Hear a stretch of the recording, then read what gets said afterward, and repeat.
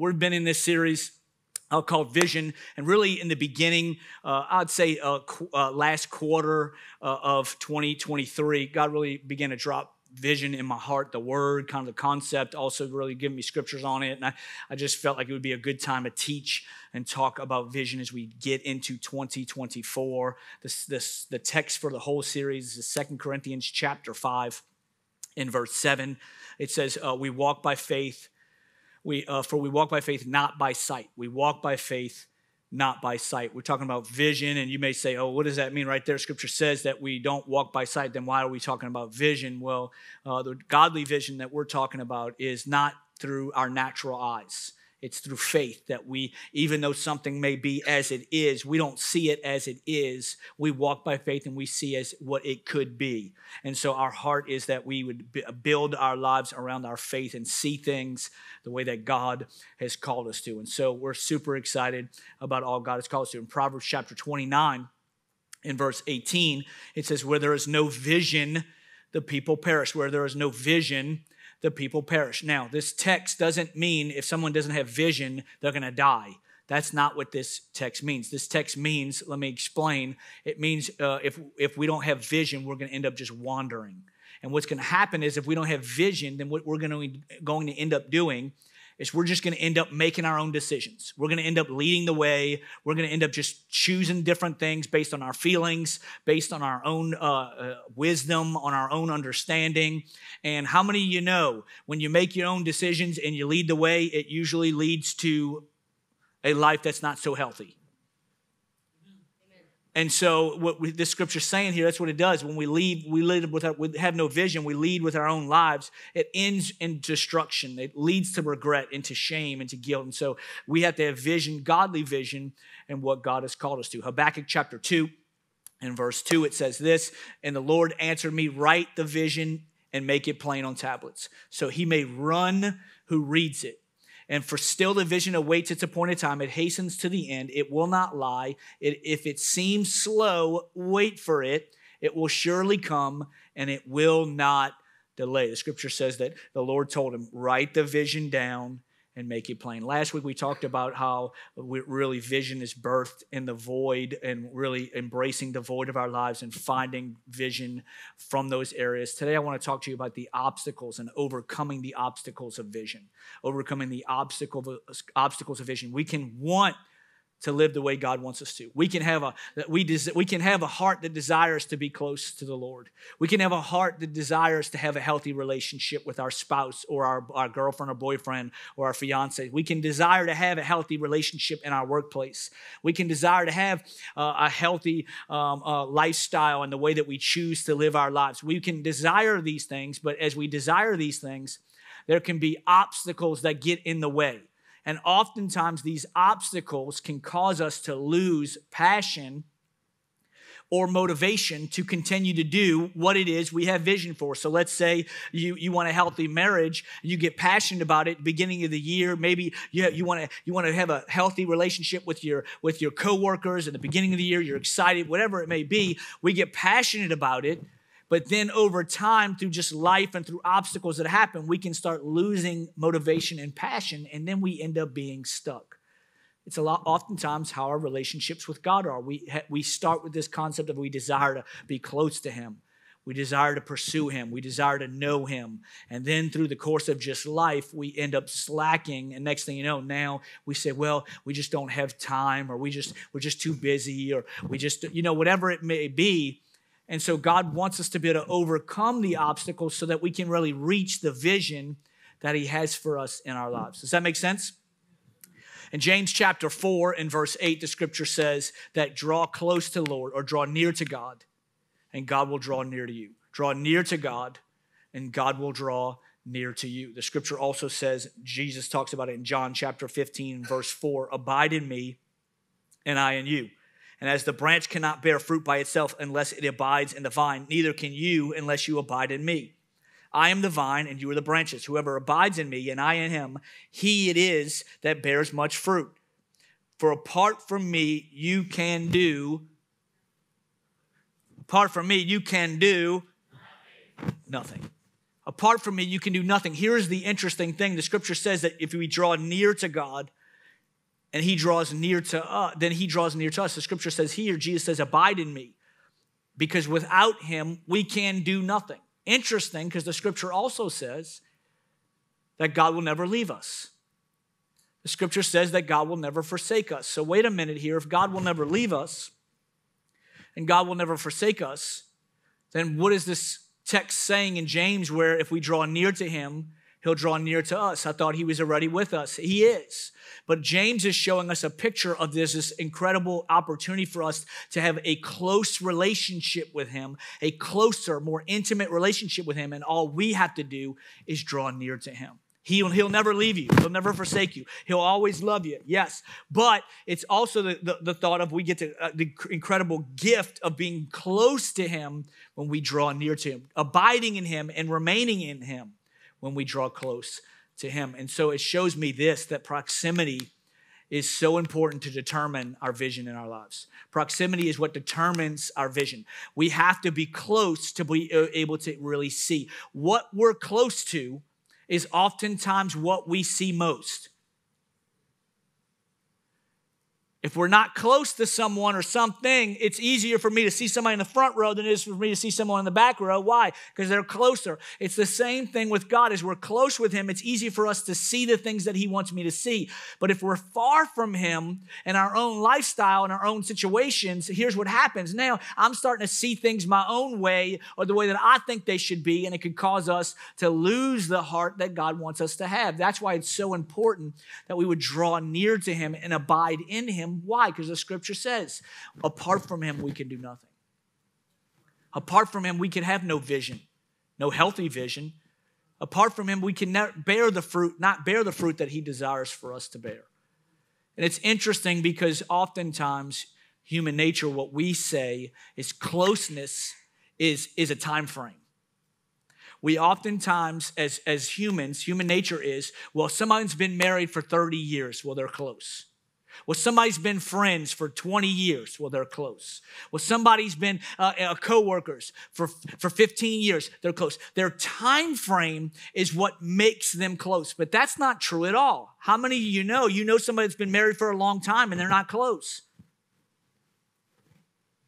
How many of you know you have friends that you've known since a long time ago and you just you you know them and maybe you're you're Facebook friends with them, but you're not close. Anybody know what I'm talking about?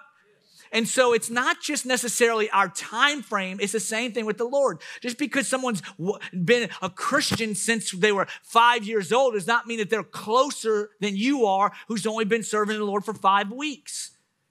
Why? This is the incredible thing about the Lord, God we serve. Proximity is, is I draw close to Him. It's not a time frame, it's a heart posture, it's a pursuit. And so my pursuit is I want to I want to I want to draw close to him and I and then he draws close to me. It's not a time frame. It's not about how long we've been reading the Bible. In fact, I'll say this maybe you're in the room or online and maybe you're far from him. I want to encourage you abiding in him and knowing him, it, it's, it can start today.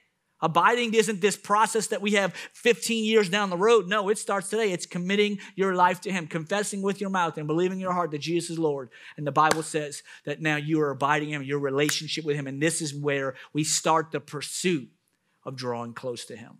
Does that make sense? It's not a time frame. Just a couple uh, months ago, uh, we were doing one of our membership meals, and a membership meal. My, my, my mic is going crazy here. Let me try to fix it here. But we were doing a membership meal, and if you don't know, we do membership meals here. What is that? We do next steps and next steps is uh, uh, our process to really become a member. You get to know who we are. We get to know a little bit about you, and then uh, you get to know kind of how we get in, how you can get involved and serve in the church because we believe in being a church uh, that isn't just a come and leave, but we being we believe in being a church that serves one another. And then the third week is, is our membership meal. It's really where we sit together. Uh, my wife and I sit with those uh, that are becoming members, and we just we just hang out, we just chat, and we talk. Well, we had a couple months ago we had a young college girl, freshman, who was coming in and she was just passionate. She was hyped, okay? And so she's talking to me about her best friend, okay? And I'm gonna try to do this. Y'all don't make me laugh, but I'm gonna try to, I'm gonna try to, and I'm not making fun of her. I actually think she's an incredible young lady, but I'm gonna try to imitate the, the conversation that we had. Okay, and y'all be serious because this is don't don't make me laugh. Okay, I'm gonna try to imitate, show you the process of what I was walking through in our membership meal just a few months ago. So I'm talking to this young lady. Uh, tell me how you heard about the church. Give me a little bit. And she says, "Oh, Pastor Jordan."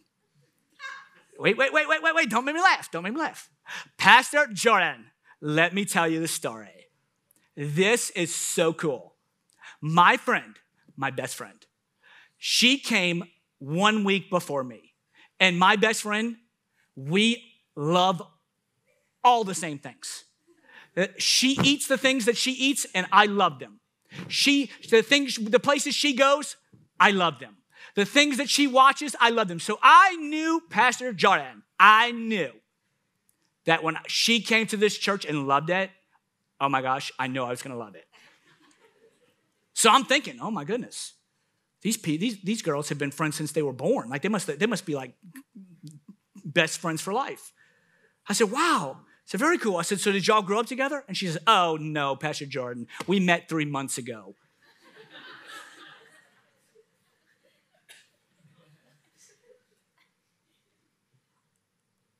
okay.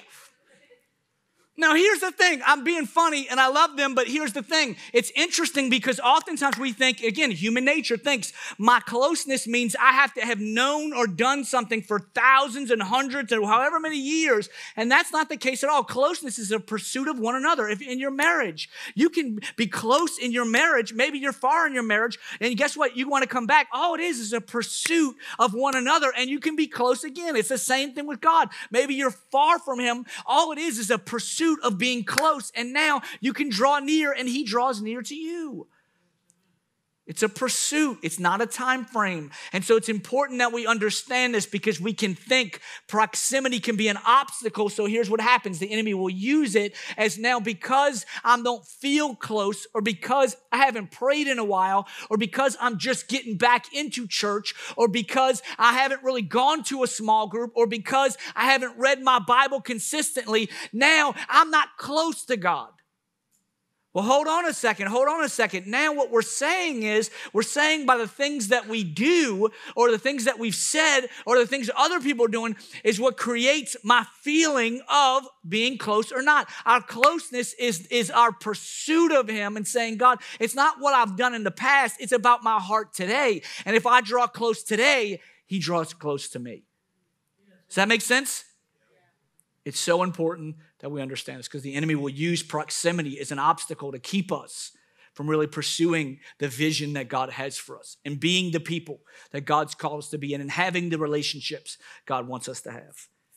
Scripture says in Genesis chapter 37, this is the story of Joseph. Many of you may know this story. Uh, he was a young man uh, who his father loved. He gave him a coat of many colors, the scripture says. And the scripture picks up right here in verse 5, where Joseph has a dream. It says, He told his brothers, they hated him all the more. He said to them, Listen to this dream I had. We were binding sheaves. We were binding sheaves of grain out in the field when suddenly my sheaf rose and stood upright, while your sheaves gathered around mine and bowed down to it. His brothers said to him, Do you intend to reign over us? Will you actually rule us? And they hated him all the more because of his dream and what they had said. Check out verse 9. Then he had another dream. So he told his brothers. My man wasn't the smartest tool in the shed. Come on, somebody. I know that's not the phrase, but I'm saying it that way.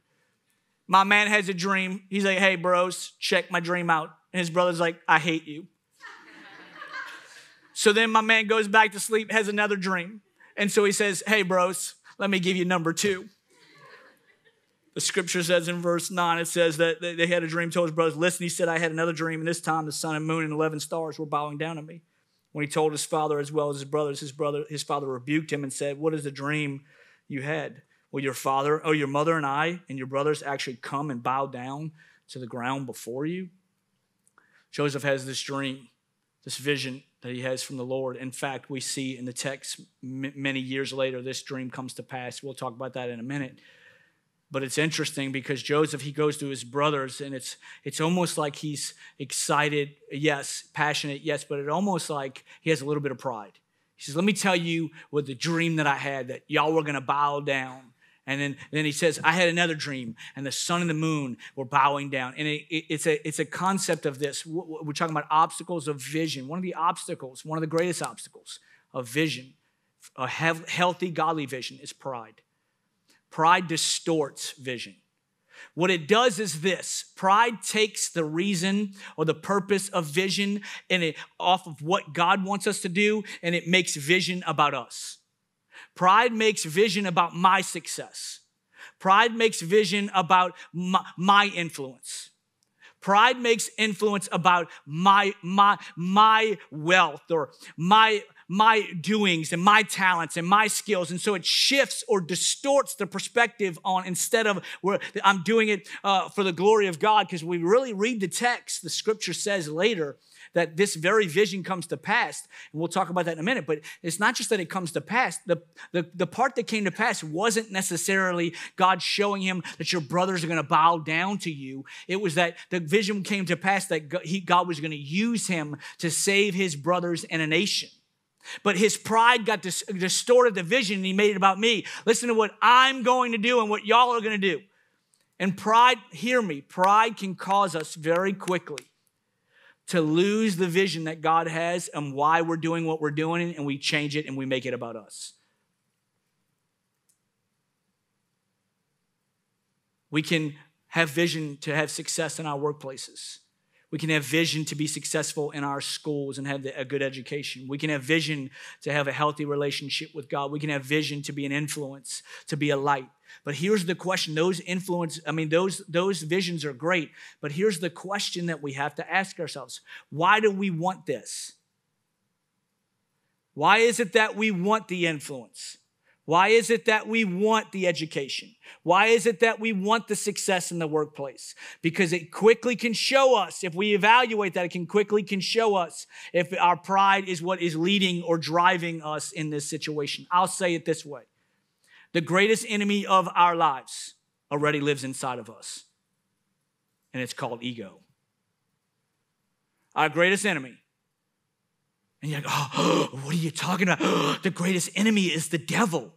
Uh, I'm gonna be honest with you. I'm sometimes when you're fighting with your spouse and you think you're right and you think that you don't need to apologize, Lucifer's nowhere near you. That's your pride.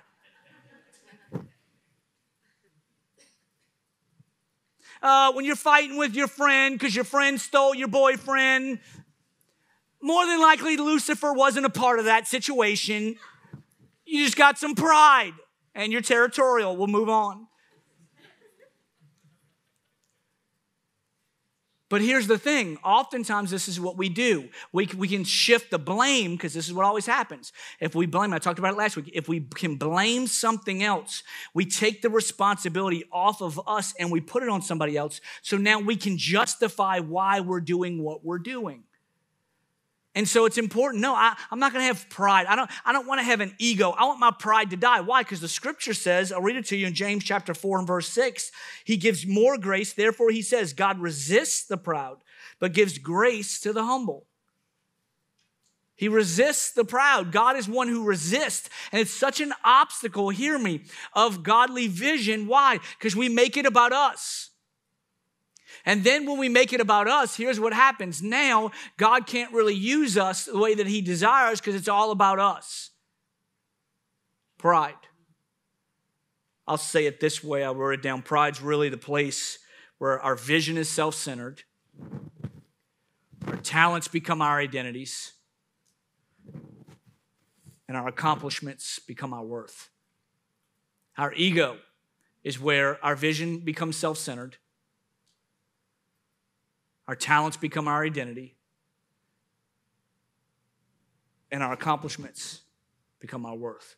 Now, when I do something successful, now I feel successful. Or now, when I have talents, now I'm known for my giftings and my talents. And so, this is how people see me. And so, now this is the platform that I stand on, the influence that I have. And so, now people praise uh, uh, us for these things. And we are living in a society, honestly, that does nothing other than just encourage ego. I mean, we live in a society that literally it's, it's, it's consumed with encouraging one another to have egos. I mean, that's all social networks are nowadays. It's like let's post the things that we're getting to do and let's post the things that we're and those things are not bad. I'm not I'm not making fun. I'm not saying to post something to post all the things you, you do that are bad. That's not what I'm saying. It's it's fine to post things you like, but I'm just saying we're living in a society that is consumed with puffing up our ego. And if we're not careful, we can bring that into our vision with God. And so now we're just doing things to puff our own selves up. Does that make sense? So important. Genesis chapter 37 and verse 18, it says, When Joseph's brothers saw him coming, they recognized him in the distance, and as he approached them, they made plans to kill him. My man, my man had some brothers, you know what I'm saying? True bros, you know what I'm saying? Here comes the dreamer, they said. Come on, let's kill him and throw him into one of these cisterns. We can tell our father a wild animal had eaten him. Then we'll see what becomes of his dreams. When Reuben heard of their scheme, he came to Joseph's rescue. Let's not kill him, he said. Why should we shed any blood? Let's just throw him into the empty cistern here in the wilderness. Then he'll die without our laying a hand on him. Reuben was secretly planning to rescue Joseph and return him to his father. We skip down to verse 26 for the sake of time, and it says Judah said to his brothers, What will we gain by killing our brother? We'd have to cover up the crime instead of hurting them. Let's sell him to these Ishmaelite traders. After all, he is our brother, our own flesh and blood. His brothers agreed. So when the Ishmaelites, who were Midianite traders, came by, Joseph's brothers pulled him out of the cistern and sold him to them for 20 pieces of silver, and the traders took him to Egypt. Here's what's happening Joseph's brothers sees him coming, so let's kill this dude. Instead of killing him, they throw him into a cistern, a pit, if you will. And as he's in the pit, they say, you know what, let's just leave him there. And then as they're leaving him there, they see these Ishmaelite traders, these slave traders, is what they were walking by and he says, Hey, when they let, let's sell him to these slave traders and then we don't have to deal with it. So they sell him for 20 pieces of silver to these slave traders, and Joseph is taken off to Egypt as a slave. Can you imagine Joseph? Do you imagine being chained hand and foot, walking to Egypt, knowing your brothers just sold you? to be a slave for the rest of your life. Can't imagine the pain and the betrayal that he was feeling. What does this show us? It shows me this. I believe this with obstacles that we need to overcome in our vision is vision. It's so important that we understand that pain, it damages our vision. It can damage our vision. Here's what happens. Joseph has this dream this vision that he feels like God has given him for the future. And then all of a sudden, he's not living in the palace. Now he's a slave, sold by his own brothers. And here's what happens we've all been in a place, all of us, every human, we've been in a place where we've been hurt by someone in our workplace, a family member, a, a, uh, a, a church goer, a pastor, there's so many different things and so many different people uh, that have been hurt from so many different areas. And I, I will say this that oftentimes, if we're not careful, we can allow our pain to damage the vision that God has for us. And we'll say things like this I'll just never be to love again we say things like, well, yeah, you know what, I just, the small group thing's not for me because I joined a small group many years ago and I got caught up and, and I shared my secrets and then my secrets got out and everybody was talking bad about me and calling me all these names. And, and so that, that's not really for me. And so I just, I just can't do that. And so what can happen is that we, instead of uh, seeing the vision of God desires for us to grow, here's what happens. It, it damages our vision and it causes us to be stuck in our pain. And so everything then we see through life through the lens of our pain. You ever known someone who's been hurt by someone uh, years ago and they're, they're still responding through that pain years and years later? And I'm not making fun of the people. That's not what I'm doing. Pain is a process. Healing is a process. There's no, no, no question about it.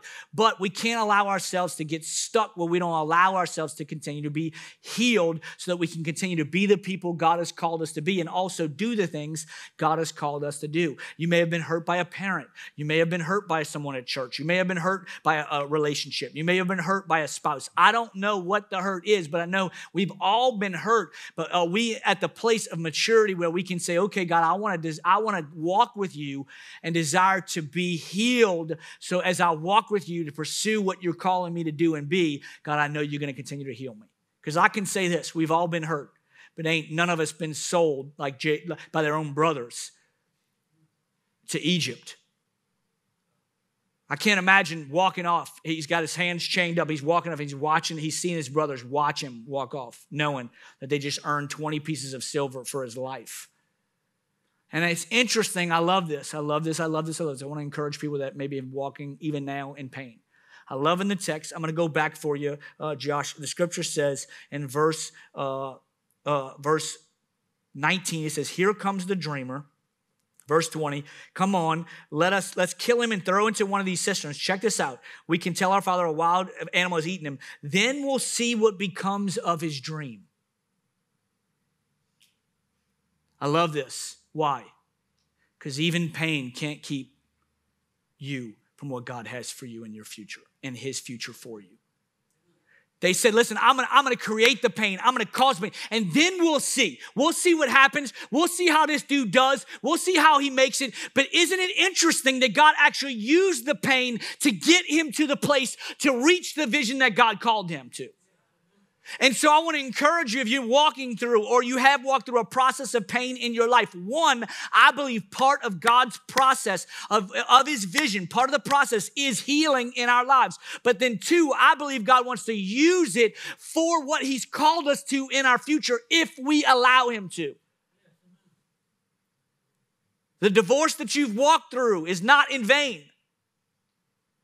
The pain that you walk through in a relationship of being broken up with, or the pain that, of someone betraying you at your workplace, or the pain of a family member, a parent treating you wrong is not in vain if we allow God to use it. Why? Because He wants to turn everything around for His glory. And this is the vision He has for us, but He doesn't want to just use it, He also wants to heal us in that process as we walk with Him. Does that make sense? I didn't tell the first service that, so y'all got a freebie. There it is. Genesis chapter 39 and verse 19, it says Potiphar was furious when he heard his wife's story about how Joseph had treated him, treated her. So he took Joseph and threw him into prison where the king's prisoners were held, and there he remained. He has this vision, this, this, this, this concept of where and how and who he believes God wants him to be, and he has to walk through some pride he has to overcome pride. Then he has to overcome this pain. But then he, he, it's interesting. He has this vision of what God wants, but it doesn't get better, it gets worse. He then goes into being in prison. And what does this show me? Prison, I wrote this down. Prison, yeah, I got to write it down. Prison uh, damages, pain damages, and then prison diminishes vision. Thank you. Prison diminishes vision, meaning this we can't see past the bars in what we're walking through. I can't tell, me, tell you how many people I've walked with in life, and they said, Oh, no, this is just my personality. This is just who I am. Oh, you know, I, I, I, I, I just get angry. I'm working on it, but I'm just an angry person. Oh no, that's just my personality. It's just that's just who I am. It's just part of my nature. And so I just it just it is what I'm just I, I just gossip. Like it's just part of who I am. Like I know it's not necessarily the healthiest thing, but it's just part of what I do. It is what it is. And I can't tell you how many people I've heard and talked with. Oh, I just get stressed. I'm just a person that worries. I'm just they'll say, they'll even claim it over their lives. Oh, I'm just a worrier. Don't worry about me. Well, what are we doing? Here's what we're doing now. What we're doing is we're allowing ourselves to never see past the bars that we've either put ourselves in or someone else has put us in. And here's the thing I love about God God desires for us to walk in freedom. And it's interesting that Joseph would have remained in prison. If you read the text later, please go on and read it. If you read, if you read the text, Joseph would have remained in prison unless one person would not have helped Joseph get out of prison. I'm going to plug small groups. This is why small groups are so important because there are prisons in our lives, spiritually, emotionally, mentally, that we, we are walking in and through that we'll never get out of if we don't have people around us helping us and encouraging us and pulling us out of those areas. This is why small groups are so important. We do not do small groups just to give you something else to do. Oh my gosh, we know everybody is overly busy. We understand that. But we also understand the importance of the growth and development of our spiritual walk with God and in our freedom in Him. And I'm telling you, there are some freedoms that we will never reach without the help of others in our lives. And this is why it's important that we get around people that are believing the same things, that, that are pursuing the same things, that are desiring the same things, so that we can continue to be the people God has called us to be. And it's interesting that Joseph's vision that he had, that God had for him, he, he did not receive or did not get while he was in prison. He received it when he got out of prison. I believe this. There are some things that God has put in our hearts that we will do one day or that you will become, do whatever it may be. But I believe God's put dreams and visions in our hearts. But there are things that have trapped us in the now that God's wanting us to work on to get free from so that when we get to the place of where He's calling us to, we'll be walking in freedom and be able to maintain and sustain where He's called us to be. Does that make sense? And it's so important we understand this. Now, I'm closing, I promise. We're talking about obstacles. Genesis chapter 41 and verse 37. Joseph's suggestions were well received by Pharaoh and his officials. So Pharaoh asked his officials, Can we find anyone else like this man so obviously filled with the Spirit of God?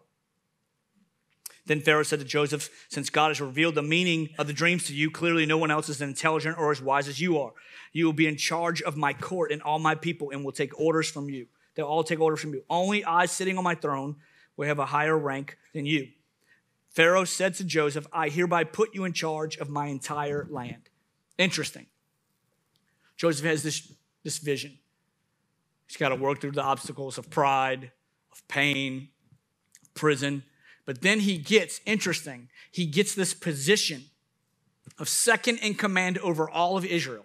And yet he had still not seen the vision come to pass. The vision had still not come to pass. His brothers had still not come and needed his help. And so it's interesting that he had to even get over the obstacle of power. He got the position of power, but he still had to even overcome that. Let me explain why. Because power will devalue vision. Meaning this, it'll get us to think, well, vision's not necessary.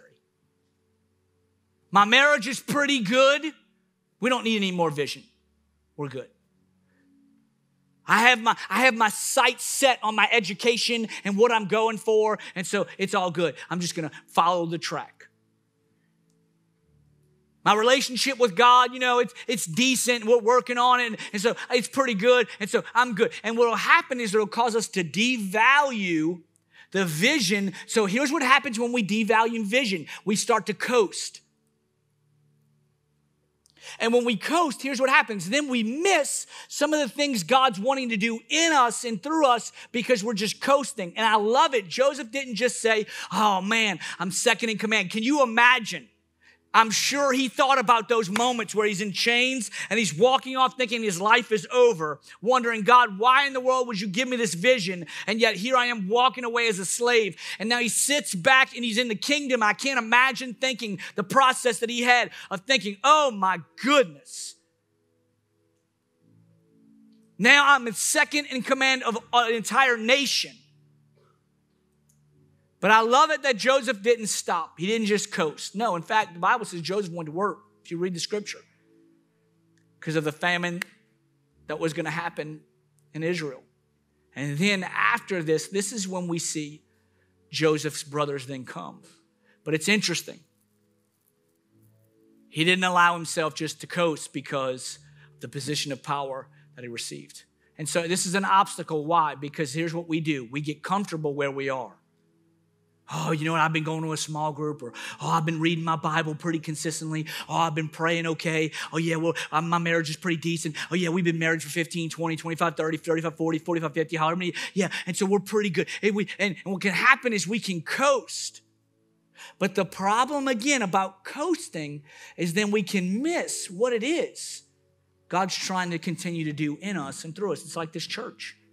We're coming up, I told you coming up on our fifth year anniversary just a couple weeks from now and as a church. And five years ago before we were uh, ever a church and we were practicing setting up at leon high school and uh, we were we were tear down break down up down up down uh, uh church You could have told me, you know what? Well, in five years, you know, you have hundreds and hundreds and hundreds of people coming to the church, and, and you're gonna have to have multiple services, and you're not gonna have enough kid space, and you, you're not, not gonna have enough parking, and, and all these different things. And then what can happen is I can look back at the five and thinking, man, I just was hoping somebody would show up. Like I, I, I was just praying, God, just, just somebody come listen to me say something. You know what I'm saying? But now we could sit back as a church and say, man, God's been good. Wow, look at all the people. One of our prayers was that God, we would be a multicultural, multi generational church. And God, wow, you're answering our prayers. Now people come and they tell me, I can't believe how many different generations and how many different cultures are part of this church. And we could sit back and say, man, God is good. Whew. We made it. We did it. Now we can just coast for the next 30 years. But that's not what I believe our church is called to. Why? Because I believe God's called us to continue to be a light in our community.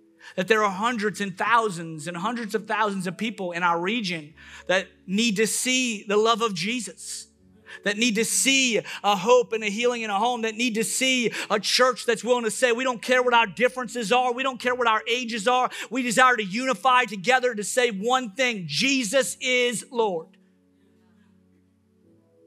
And so this is what we're going to do. We're not going to coast. We're going to continue to pursue the vision God has for us. Why? Because we desire not to bring glory to my name. I could care less if anybody knows my name. In fact, I hope you don't know my name. I hope you come up to me in Walmart and say, "Oh yeah, you're the preacher of that church. What's your name?" I hope that happens. Why? Because I don't want the glory. I want Jesus to get the glory. I don't want our organization to get a, the glory. I don't want people to say Experience Church. I want people to say Jesus. Why? Because He is the hope of the world, and we as a church get the privilege of being a part of the vision that He has given us as a church collectively to be a light to our community and our world. So let's not coast. Let's say, oh, baby, it's about to just get started. Come on, somebody. We're not even at five years yet. I got a whole message for y'all later. You know what I'm saying? But I'm passionate about this. Why? Because it's so easy to just coast and we look around and say, oh, yeah, they got the worship down. Oh, yeah, they, they got the greeting down. Come on, somebody with our greeters in the 45 below degree weather out there. They praise God. We're praying for them today. Oh, they got the parking lot down. They got the kids' ministry down. Oh, they got it all set. And so now I can just come and I can just receive. No, we want to be a church where we all come and we all serve. Why? Because we know as we serve and we be the hands and feet of Jesus, we're able to share the love and light of Jesus to those that are far from Him and don't know Him. This is the hope, hope of the world. It's Jesus. So I want to challenge you. I don't know what obstacle it is in your life that may be keeping you or hindering you from reaching and pursuing the vision God has for you. Maybe it's proximity. Maybe it's that you've been far from Him and you've strayed away, or maybe you've never given your life to Him. It's okay. He loves you. Maybe it's pain. Maybe it's you've walked through something so hurtful in your heart that you've not been able to get past that and, and you desire God to heal you. Maybe it's pride of where you've just been saying, you know, it's, a, it's been about me, or maybe it's a prison in your life and you've been, you've been just walking with it stuck in this situation in your life. And I believe God wants to free you from that. Or maybe it's a position of power of where you've been doing well, life is good, and you're sitting in a place and you're just able to coast. I don't know what the obstacle may be for you, but I do know this I do know that God has called all of us to overcome the obstacles that will keep us from the vision that He has for each one of us, to be the people that He's called us to be and do the things that He's called us to do. Amen. Would you stand with me as we pray today? God, I thank you so much.